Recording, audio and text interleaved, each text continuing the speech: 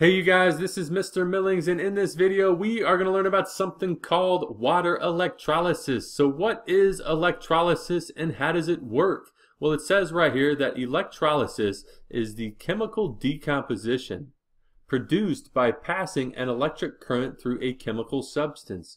And so in this video what we are going to do is we are going to apply this concept of electrolysis to water. And so when we pass an electric current through water, what ends up happening is that electric current has enough energy to break the chemical bonds that hold the hydrogen and oxygen together in a water molecule, and the end result is the formation of hydrogen gas and oxygen gas, the two elements that make up water.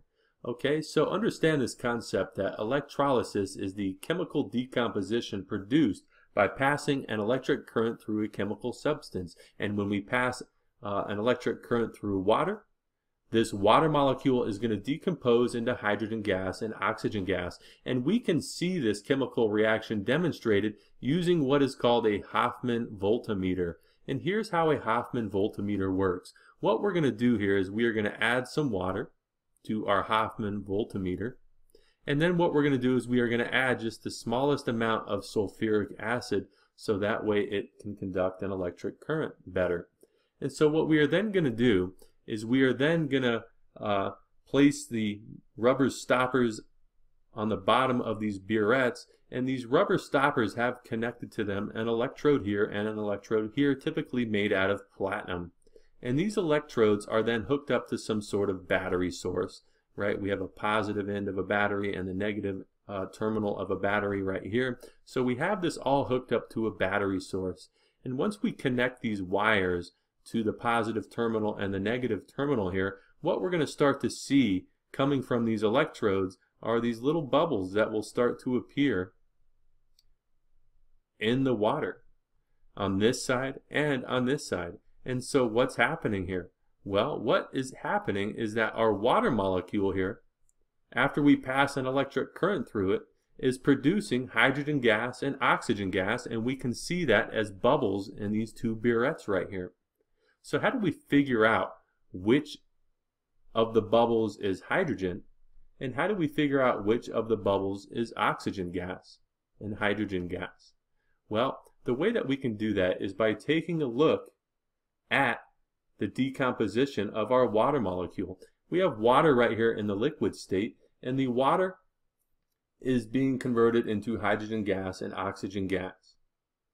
We know that in an H2O molecule, our hydrogen, because it comes from group 1, forms positive ions, positive 1 or 1 plus ions, and our oxygen, since it comes from group 16, right, forms negative 2 ions or 2 minus ions. And so if we take a look over here on the product side, our hydrogen gas is elemental hydrogen, and all elements have no charge at all. So our hydrogen gas is neutral. Our oxygen gas is also elemental oxygen and therefore has no charge at all. So what must have happened to this hydrogen to go from a positively charged ion on the reactant side to a neutrally charged hydrogen molecule over here on the product side? Well, the hydrogen is going to have to gain an electron. The hydrogen is going to have to gain an electron. If we take a look at what's happening to the oxygen right here, oxygen right, is forming uh, or has a negative 2 charge on the, on the reactant side. But if we take a look over here on the product side, this oxygen gas is neutral. It has no charge at all. So what must happen for this oxygen here to go from a negative 2 charge to a neutral charge is that this oxygen is going to have to lose two electrons. So understand that concept. And so, what is it called when atoms lose or gain uh, electrons? Well, you have to remember this right here. Oil rig, oil rig. Oxidation is losing electrons and reduction is gaining electrons. And so if we take a look, our hydrogen gains an electron. So hydrogen is reduced, right? Hydrogen is reduced. And if we take a look at our oxygen here, oxygen is losing two electrons. So keep in mind that oxidation is losing. So oxygen is oxidized. So our hydrogen is reduced during this chemical reaction and our oxygen is oxidized during this chemical reaction. And so knowing these concepts, how can we figure out which side is the oxygen and which side is the hydrogen gas in our Hofmann voltameter? Well, you'll have to remember something called red cat and anox. Red cat means that reduction occurs at the cathode and anox means that oxidation occurs at the anode. And so because our oxygen is being oxidized, that is going to take place at our anode. And because hydrogen is being reduced and is gaining an electron, this is going to occur at our cathode. Keep in mind red cat.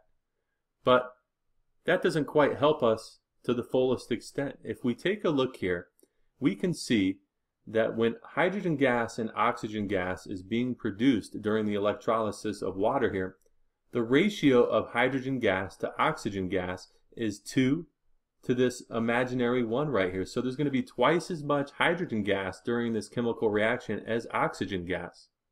And so if we take a look right here, we can see the empty space in this burette is about half as much as the empty space in this burette. So there's twice as much gas in this burette as there is in this burette right here.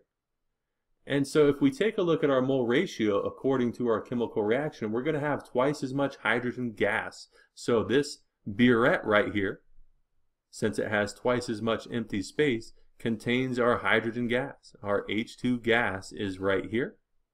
And this burette right here contains our O2 gas. Okay? And so, once again, because our oxygen is being oxidized, and we know this little acronym right here, anox. Well, our oxygen right here is taking place at our anode, which is connected to the positive terminal of our battery. And if we take a look over here, our hydrogen is being reduced, and red cat means that reduction occurs at the cathode. So this little electrode here is connected to this wire that is connected to our negative terminal here. So the negative terminal here is our cathode. The positive terminal here is going to be our anode. And that is water electrolysis. So if you like what you see, go ahead and click that little bomb in the bottom right hand corner and that will subscribe you to my channel. And feel free to leave any comments or questions in the comment section down below. And I really hope you guys found this helpful.